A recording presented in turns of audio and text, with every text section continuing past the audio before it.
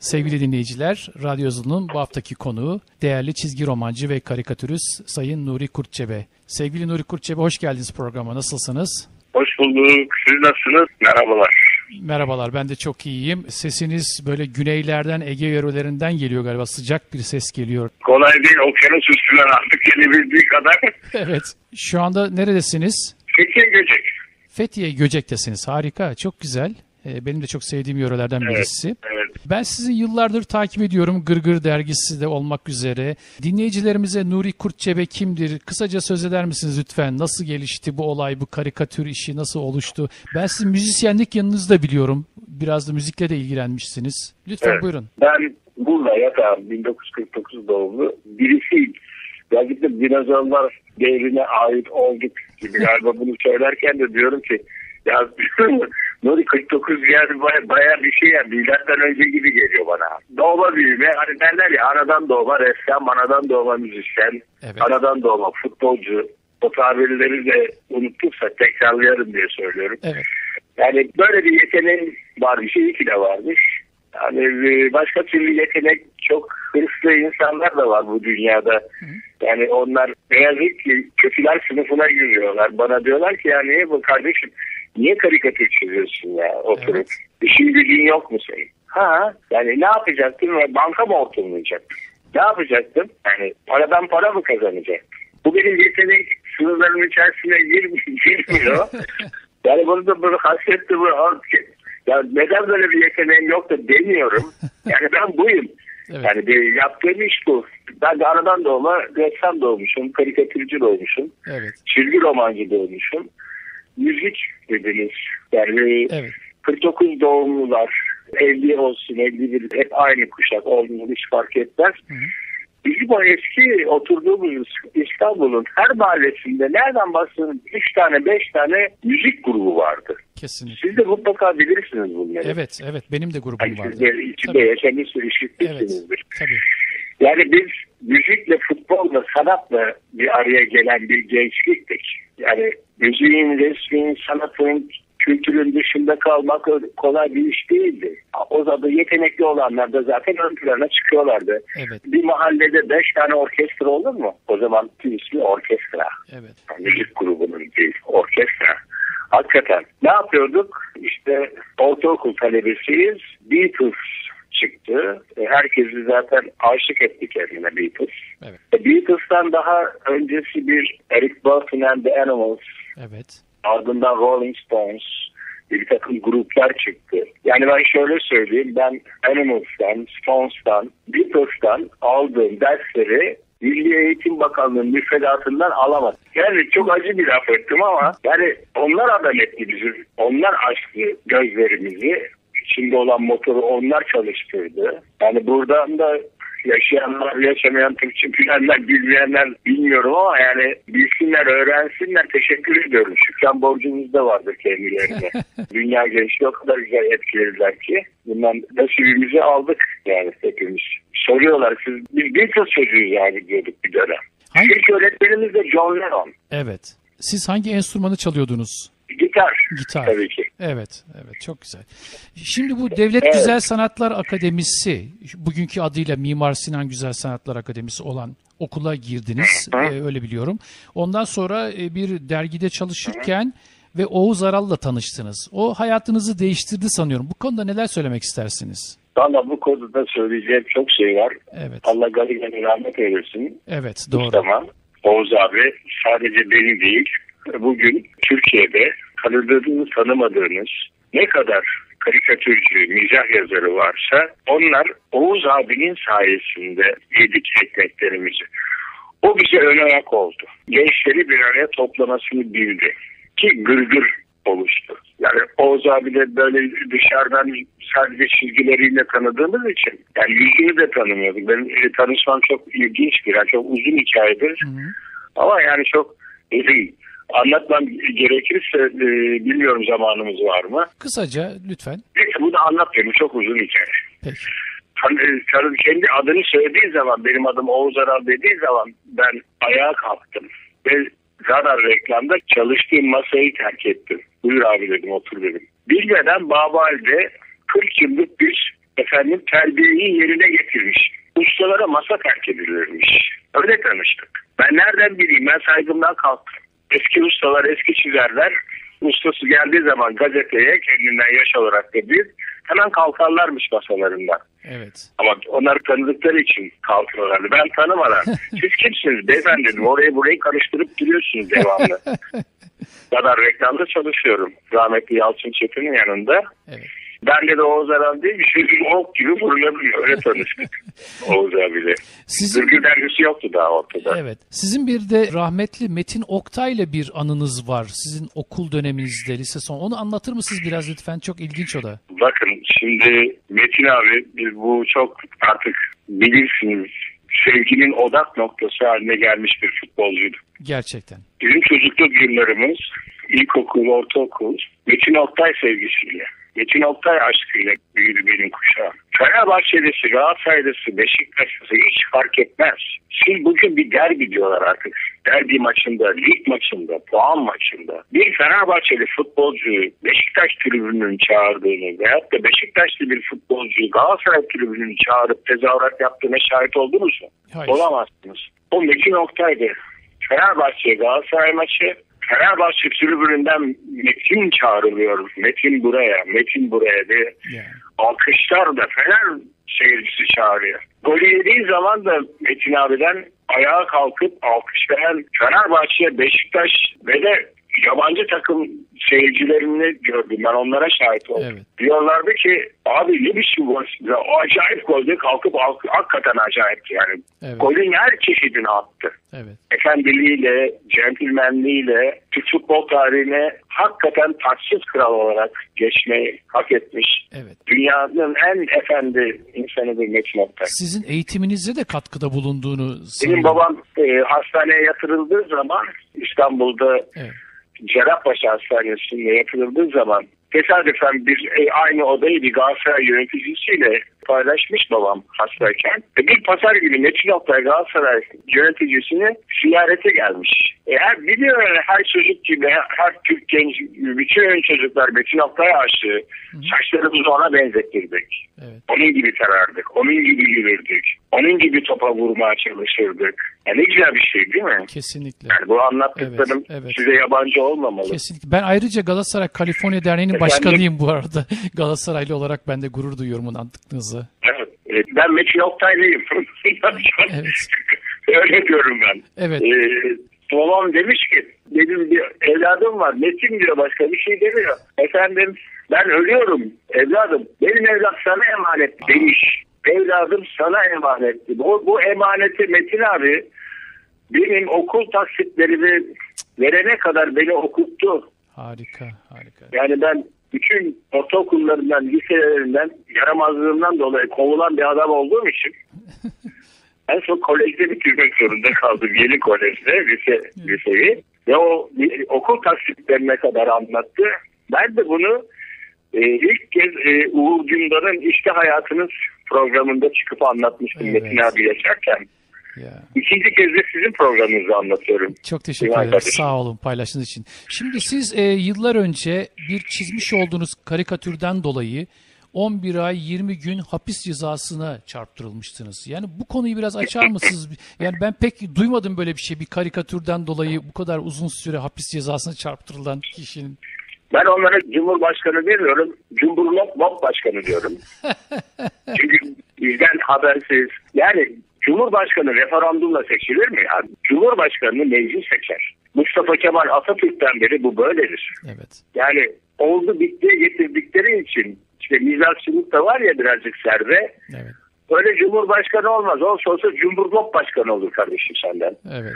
Ondan sonra bir de BOP'u ilave Cumhurlok BOP eş başkanısınız. Siz başka hiçbir şey olamazsınız. Mustafa Kemal'in ve halkın Çankaya'sında Amerika Birleşik Devletleri beslemelerine yer yoktur dedim. Evet. Vay sen misin diyenler. Alın bunu içeri oldu. Evet. Gittim 11 ay 20 gün hapis cezası. Cumhurbaşkanına hakaretten. Ama ardından da yargıç diyor ki bana yüzüme karşı gelsen 5 yıl Cumhurbaşkanına karikatür çizme seni affedelim. De dedim ki affetmeyin. Rüşvet teklif ediyor gibi sanki. Avukat da o sırada tekmeliyor beni. Nuri sus diye. Çünkü benim üstüme yoktur. Tek davayı duble yapmadan çıkmam mahkemeden. Enteresan. Pekala bir de İlhan İrem'le olan bir ortak çalışmanız var. İlhan İrem zamanında 70'li yılların başında benim de Grup Evrim diye bir grubum varken İstanbul'da birlikte İlhan İrem'le birleşmiştik. Bizim şarkıcımızdı. Sizin onunla bir çalışmanız var galiba İlhan İrem'le ortak. Evet pencere köprü ve ötesi. O zamanlar ben Gırgır'da Gattar Davut'tan biraz sıkıldığım için e, Apollo Ahmet'i çiziyordum. Evet. Apollo Ahmet uzay hikaye, uzayla ilgili bir hikayeydi. Tabii ki İlhan'ın pencere köprü ve ötesi de ayrıca İlhan biz birbirimize Nuri İlhan demeyiz. Nasıl? Alma ederiz. Ne dersiniz? Şimdi diyeceksiniz ki bu albay nedir? O kadar yorgunuz ki ikimiz de. Evet. Yani sabahlara kadar çalışmaktan birbirimize telefon ediyoruz. Telefonda alo diyecek halimiz yok yorgunluktan. alo kelimesi şöyle çıkıyor. Ay.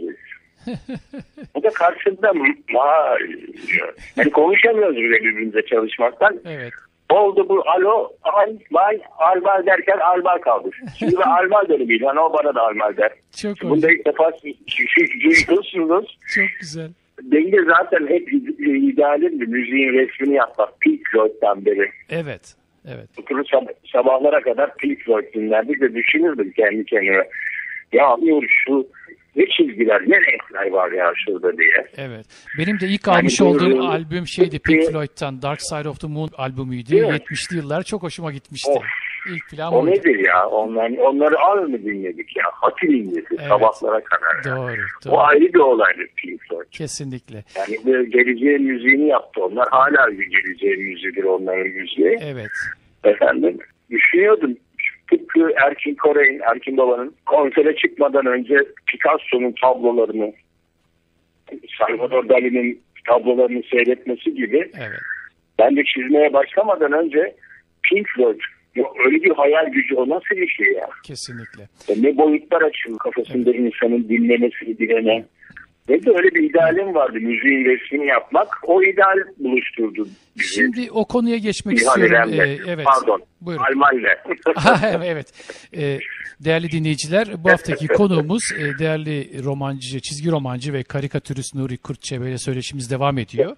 Ee, sevgili Nuri Kurtçebe, sizin bir Nazım Hikmet'in Kuvayi Milliye Destanı çizgi romana dönüştürdüğünüzü biliyorum. Bir kısmını görmüştüm. Bu nasıl bir projedir? Muhteşem bir proje. Ben bunu hayranlıkla izledim. Hangi yılda yaptınız bunu? Nasıl bu projeyi Güzel kardeşim gerçekleştirdiniz? şimdi yani ben de şu sen şu soruları sorunca ben de kendi kendime ne demeye başladım biliyor musun? Evet. Ya Nuri sen neler yapmışsın da haberin yok. Unutmuşsun. Çok güzel. Sen bana hatırlatıyorsun. Teşekkür ederim. Ama bu unutulacak değil. gerçekten o başka bir Gerçekten çok büyük bir şey. o çocukluk hayali o. Evet. O yani biliyorsun yani bizim evlerimizde Nazım Hikmet e, Evet. kitaplarımız Nazım Hikmet'in şiirleri Evet. Ustalarımızın da hatta elinde gördüğü zaman tut evden aa Nazım Hikmet okuyor. Alır içeri. Komünist. Yani biz öyle büyüdük. Aynen, Ustalarımız da aynen. öyle büyümüş. Evet. Ama Kuvayi Milliye Destanı okuyunca bu ne ya dedim. Nasıl bir şeydir ya? Yani bir şuna karar ver. Bir savaşı Mustafa Kemal Paşa'nın da lafıdır bu. O aslan parçası Mustafa Kemal. Evet. O koca Mustafa Kemal. Efendiler bırakın diyor tarihi diyor bilim adamlarıyla sanatçılar yazsın. Siz yazmayın. Hepimiz e, Emin Oktay Zede değil miyiz tarihten ya? Doğru. İşte Doğru. Nazım oturmuş. Koca Nazım Kuvayi Milliye'yi ne güzel anlatmış. Ya, bu Dedim gerçekten ben bunu çizeceğim usta. Dedim ben bunu çizeceğim. Çok o zaman çizgin de müsait değil. Çizmeye çalışıyorsun. O, olmuyor. Elin karikatüre gidiyor. O karikatür diyor. Desen istiyor evet. anlatım. Oturdum çizdim. Nasıl çizdim? Ne, ne, ne kadar zamanda çizdim? Hep bu soruyu sorarlar. Vallahi hatırlamıyorum. İşte kanser diye bir bela yapmıştı o Evet, yıllarda evet. başıma. Peki bu kitabı Ha, nasıl alabiliriz? e, İyi Nasıl oldu. nasıl İyi edinebiliriz bu oldu kitabı? kanser belası. Dedim ben gidiyorum galiba. Bir an önce şunu çizeyim de öyle gideyim diye hızlandı iş. Kanser işi hızlandırdı. Hayda. Nasıl alabiliriz bu kitabı? Nasıl edinebiliriz? Piyasada var mıdır bu Kuvayi Milliye çizgi romanınız? Vallahi şu anda yok. Yok. Leman yayıncılıktan çıktı. Şu Evet. anda zaten e, dün onu, onu konuştuk. E, tekrar baskı yapacağız. yeni baskısını yapacağız. Ee, ben 2000 kaç yılı hatırlamıyorum. Ee, bayağı oldu. Amerika'ya e, Türk-Amerikan Federasyon Birliği Evet. e, Kaya Boztepe duymuşsunuzdur. Tabii belki iyi arkadaşım. adını. Evet. Onun davetlisi olarak Kuvayi Milliye Söyleşi ve imza günlerine geldim. Çok Ve güzel. gezmediğimiz yer kalmadı Amerika'da. Harika. O zamanlar denkeleydik. Evet. Mutlaka bir, yer- bir, bir siz e, Los Angeles'a da geldik. Evet. Ne San Francisco'su kaldı, Ne ne. Texas'ı Ne kaldı. güzel. Bayağı güzel bir Kuvayi Milliye turu yaptık. Çok- Yani Boztepe'yle. Çok güzel. Şimdi yeni baskısı var. Edinmek istiyorsanız bunu e, nasıl yaparız, nasıl ederiz? Nasıl, bundan sonra nasıl olsa görüşeceğiz. Tabii ki. O Allah'ın emri oldu belli. Evet, evet bu doğru bilinci. E, ben size yeni baskıdan bir tane adresinize kargolarım. Çok çok teşekkür ederim şimdiden.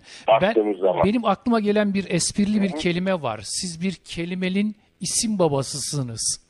O kelime de çok kullanılıyor bugün maganda. Bu kelime nasıl türetildi? Maganda. Maganda kelimesinin isim babası olarak biliyoruz. Bak yine söylüyorum. Bir, bir bu eksikte bunu da yapmışım. Evet. Nasıl çıktı bu kelime yani? Çok güzel bir Maganda. Maganda asker, askerden gelme bir kelimedir. mangadan mı? Bu da uzun uzun hikayedir. ee, Maganda'ya dönüştü. En son Maganda oldu. Onun öncesi ma, mağaradır. Mağara. Yani biz mağara. Hani İstanbul'da belki size de denk gelmiştir. Adam sokağa tükürürken pantolonunuzun paçasına tükürür geçer gider de Evet. dönüp bakmaz bile. Evet, evet. O tip adamlar dolmuştu bir zamanlar. Evet. İstanbul'a 60 ihtilalinden sonra. İhtilal mi, darbe mi artık o da tartışılır. Efendim e şimdi dönüp küfür edemiyoruz adama. Bacak kadar çocuğuz. Mağara dedik. Mağara. Ben Ha, de üstüne kullanıyordum. alınmadı mağarayı. Ha iyi. Ha alınmıyor üstüne derken mağarayı geliştirdik yavaş yavaş. Aslında askerdedir şey. E, eskiden e, asker subay çocuğu olduğum için çok iyi bilirim. Tugay sinemalarında Evet. e, Walt Disney'in Mickey Mouse'ları oynatıldı 5 dakika. Evet. E, fakat Anadolu tarafına yani doğuya gittiğiniz zaman o güzelim Türkçe iyiydi, yumuşak G'di Türkçe biter. Orada şeyler, e, iyiler kaybolmaya başlar. yumuşak G'ler kaybolmaya başlar. E, hiç iyi olur mıkı. Lan bu ne mi? Mıkı. Mık. Hadi. Şimdi bizde bizde bu komedyenler var. Tepe askerlik yapmaya gittik. 72-74. evet. Ondan sonra biz 27. alay e, şov orkestrasını kurdular. iki dakikada. Bizi eğitimden aldılar. Ha, tamam dedi tiyatrocusu bizde, müzisyenler, ben karikatürün sesler. Ne ararsa bütün sanatçılar bizim grupta öyle bir grup olduk Tepe'de. Medeniyetin bittiği yerde. Evet. Komedyenlerin adı da oldu Mırkı. ya düşünebiliyor musun? Gece koğuşta yatıyorsun. İnzibat giriyor içeri. iki metre bir. Burada mırkılar varmış. Kalkın diyorlar ki sıva istiyor. Mırkı. Dedim oğlum İsmail senden bahsediyor. Tiyatro istiyor. Adam mı? İsmail ince kara. Mıkı. Hadi mıkı. Mıkı. Mıkı oldu mıkı. Mıkı. Mıkık oldu. Makak. Makak oldu maganda. Yani bir evrim geçirdi askerde bu kelime. Ama yani çok yaygın kullanılan bir Ondan kelime sonra ben döndüğüm, zaman bu kelimeleri yazmaya başladım. E, Gaddar Davut'un arka sayfalarında önce sahneye çıktılar. Sonra ön plana geldi Maganda. Maganda kelimesinin mucidi benim diyorlar ama her birliğiyle böyle bu işin gelişmesinde çok katkısı olan isimsiz kahramanları da ayıp etmeyelim şimdi. Doğru. Şimdi sizin Gırgır'da çizdiğiniz Onlar da çok yardımcı oldular Maganda kelimesine. Gırgır dergisinde Ama çizmiş biz olduğunuz adama uyduruk maganda dediğiniz zaman adam üstüne alınmadı. alınmadı. Hatta arabasının arkasında yazdı. Son moda Grand Cherokee Jeep'in arkasında magandayım ama para bende diyor. Böyle adamlar teşekkür ediyor. İlhan kardeşim Evet. biliyoruz aslında ağlanacak halimizi. ha. Evet, çok doğru. Çok katılıyorum. Gırgır'da çizmiş olduğunuz karakterler. Gaddar Davut vardı. Bu çok popüler. Bir de sizin bir Hürriyet gazetesinde çizmiş Mokok. olduğunuz karakter Mokok vardı. Evet, bunu da yani bü- büyük ilgiyle takip ederdik. Sonra Limon dergisi, başka bilmiyorum, Dıgıl dergisi. Birçok dergide yazmıştınız, çizmiştiniz. Evet. o e, limon oldu leman, Leman. uyduruk uzay hikayeleri. Evet. Öyle evet. bir birinciliğim de var. Evet, sizin Ee, ödüllerden ödüllerden söz edelim Ee, biraz. science, science fiction. Hastayız tabii science fiction'a. Evet. Bilim kurgu diye. E şimdi ben onun adını science fiction, bilim kurgu diye yazsam kimsenin umurunda olmayacak. Koydum adını uyduruk uzay hikayeleri. Güzel, çok E. Birazcık da uyduruk oluyor işte. Sizin e, ödülleriniz de var. Uğur Mumcu ödülünü almıştınız, özel ödülü. Ondan sonra başka e, Hasan Tahsin ödülü, Nazım Hikmet'in Kuvayi Evet, Milliye Destanı'ndan dolayı yine Çağdaş Eğitim Vakfı'nın ödülü. Daha birçok ödüller var. Atatürk Düşünce Derneği Evet. ödülü. Herhalde düzinelerce ödülünüz var gerçekten. Vallahi e, var ama işte onlar e, karın doyurmuyor biliyorsun raporumuzda. Evet. Bütün radyo dinleyiciler herkesin arasında nasıl raporumuzda oluyorsa bu. Gelişmiş ülkeler de o ödülü de biraz sanatçı hayat, hayatını idame ettirsin diye Evet. yani bir bakıyorsun e, çaktırmadan o ödülün altında bir zarfın içerisinde bir bakıyorsun orada bir çek var. Evet. Ya, o güzel işte. Evet. Doğru. Katılıyorum. Yani hı, bizde yok maalesef o. Yeni jenerasyondaki yeni nesilden Olması e, gerek. karikatürcülere ne gibi tavsiyelerde bulunmak isterseniz yeni karikatürcü yetişmek isteyenlere? Öncelikle sevmeleri gerekiyor biliyorum. Eğer karikatürcü olmaya karar verdilerse bence bir an önce bu işten vazgeçsinler. Öyle. yani bu öyle kolay bir iş değil. Evet. Ee, tabii işin şakası. Ben burada bir takım böyle mali engeller, belediyeci engellerle uğraşıyorum. Karikatür dersleri vereceğim Evet. Fethiye'de. Çok güzel. Şimdi böyle bir aşkı olan, böyle bir yeteneği olan e, bir insanı zaten tutamazsınız. O çıkar. Kimse size sen gitar çalmayacaksın dedi mi? O, o, o- yani mümkün mü? Mümkün değil. Mümkün değil. O da kalemi, kağıdı alacaktır. İçinde böyle bir sevgiyi hissettiği an o bellidir zaten. O çocuk öyle doğmuştur. Evet. O mutlaka çizecektir o. Derslerde gizli gizli çizer o arka sıralarda. Evet. Evet. De dinlemez o. Doğru. O o yeteneğini geliştirecek, çizecek. Yani keşke öğrenci öğrencilerim olsalar da Hı hı. yani e, biz de arkamızdan abi bu kuşağda biz yetiştirdik işte Ne güzel. diyebilsek. Evet.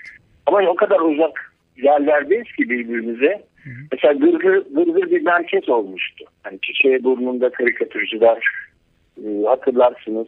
Hani her pazartesi haftanın ilk iki günü onlarla Oğuz abi yoksa ben yoksa Galip Evet. uğraşırdık. Onları hatırladım şimdi. Evet.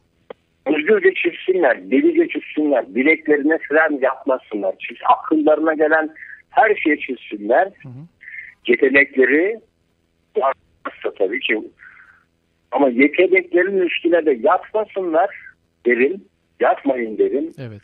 Okuyun. Okumaları Aa, ben çok yetenekliyim okumasam da olur dediğin an o adamlar hiçbir şey o kızdan hiçbir şey olmaz. Evet. Doğru. Pekala sevgili Nuri Kurtçe Bey. Yeteneklerinin üstüne okuracaklar. Evet. Deliler gibi okuyacaklar. Her şeyi bilecekler. Şimdi Ondan sonra o dinleyicilerimiz çizginin nasıl çalıştığını görecekler. dinleyicilerimiz e, size ulaşmak Yani bol bol isterlerse çizecekler ve bol bol okuyacaklar. Tek önerim bu, budur. size ulaşmak isteyen öğrenciler, genç karikatüristler veya dinleyicilerimiz size nasıl ulaşabilirler? Sizin Twitter ve Facebook hesaplarınız var zannediyorum. Veya bir web sayfanız var mı? Evet Facebook'tan ulaşsınlar. Facebook'tan. Facebook'tan ulaşsınlar. Tamam. En güzel o değil mi? Bence de öyle. E, kolay ulaşım. Yani Evet. E, en ekonomik de o. Benim Facebook adresim tamam. verebilirsin. Tamam. Çok teşekkürler. Söyleyebilirim. Bu şekilde Ee, ulaşabilirler. Bu haftaki konuğum değerli çizgi romancı ve karikatürist Nuri Kurtçe Bey'di. Kendisine teşekkür ediyorum programa katıldığı için. Çok çok teşekkürler sevgili Nuri Kurtçe ederim. Bey. Size çalışmalarınızda başarılar ben, diliyorum. Başarılar diliyorum. Gerçekten ta dünyanın öbür ucundan arayıp e, çok başarılı bir şekilde de yani söyledim zaten işte bak profesyonellik bu dedim. Mesleğini e, taştan çıkartmanın adıdır bu. Kalkacaksın ta oradan Nuri Kurçevi veyahut da başka birini arayıp programında konuk edeceksin. Beni de programında konuk ettiğin için ben de çok mutlu oldum İlhan kardeşim. Çok çok teşekkür Ben- ediyorum.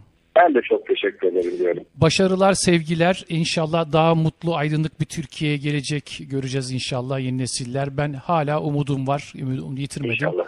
İyi çalışmalar. Hoşçakalın. Sağ olun. Çok teşekkür Sağ olun. ederim.